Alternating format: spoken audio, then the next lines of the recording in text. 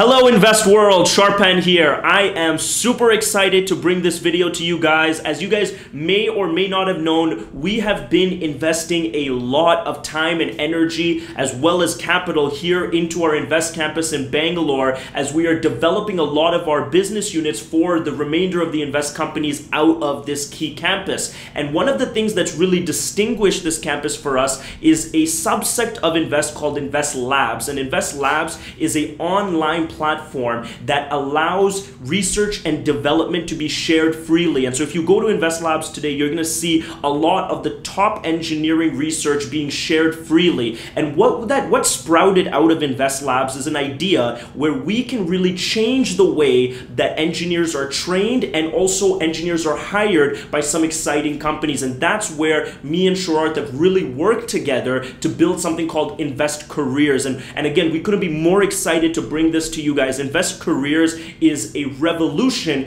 in the way that people are trained and deployed. And so it really came from Sharath's uh, you know, brainchild as to how he wants to change the way this industry is done. So I wanted to kind of introduce him to you guys as the CEO of NvestCareers and I also ask him one of the most important questions you can ask a founder, which is what was your inspiration behind forming NvestCareers? Uh, inspiration was uh, I see that so many engineers graduate every year so uh, just maybe just 30% of them get selected in the company, they get, they get placed. But the, the rest 70% chunk is not getting the job and they're wasting another year of their life. So my vision is to make the hiring process easy.